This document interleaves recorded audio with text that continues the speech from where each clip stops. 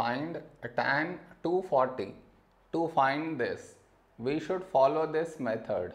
See. Here we have 240.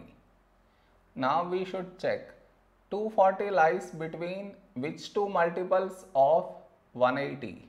What I mean is 240 lies between 180 and 360.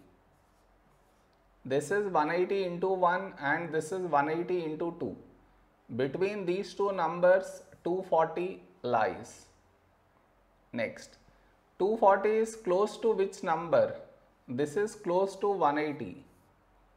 So in place of this now we should write 180 plus 60.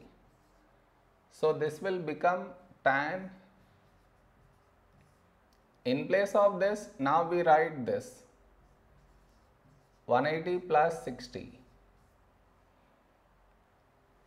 This is your step 1. Next, tan in place of 180 now we should write 1 into 180 plus 60.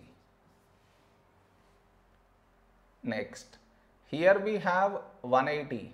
So tan is not going to change, it will remain tan. And inside we get this angle 60. Now the question is, will we get here plus or minus? To answer that, we should look at the number before 180.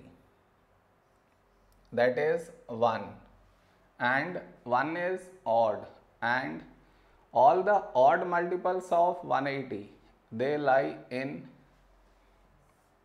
either in the second or in the third quadrant. So now to select the quadrant we should look at this symbol.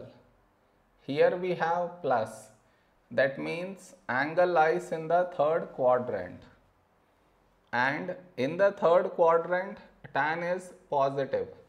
So we should put plus. So plus tan 60 is root 3. This is our answer.